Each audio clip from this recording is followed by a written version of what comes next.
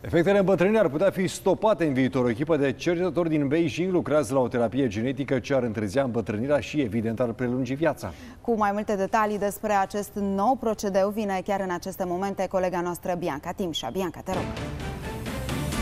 Bun găsit! Studiile terapiei genice s-au făcut deocamdată doar pe șoareci.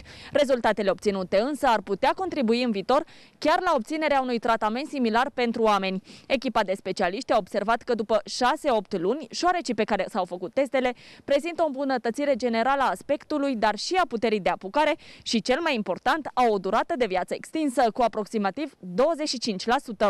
Echipa de biologi a ales din mii de gene pe acelea care aveau o mare influență asupra îmbătrânirii celulare și în special una dintre ele care avea cea mai importantă contribuție și au inactivat-o în ficatul șoarecilor. Totuși, cercetătorii au explicat că metoda este departe de a fi pregătită pentru teste clinice pe subiecti umani. Următorul pas este testarea metodei pe maimuțe, însă acest lucru va necesita fonduri suplimentare și mult mai multe cercetări.